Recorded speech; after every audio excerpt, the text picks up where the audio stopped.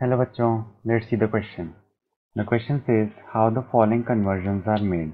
glucose into so let's see key concept for the question key concept और अपना की concept क्या हो जाएगा? Reactions of glucose reactions of glucose the following the conversion given to us is glucose into n-hexane so इसके लिए क्या लिखेंगे अपन glucose undergoes reduction glucose undergoes reduction on reaction with on reaction with HI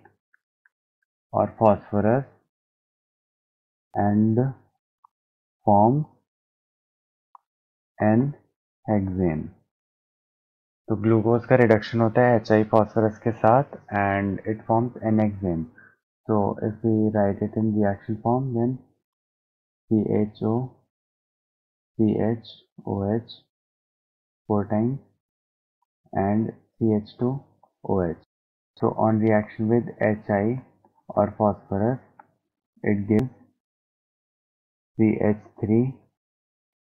CH2 4 times then CH3 so this is normal hexane that is N-hexane and this is glucose. So this was our conversion. I hope you understood the question well. Best of luck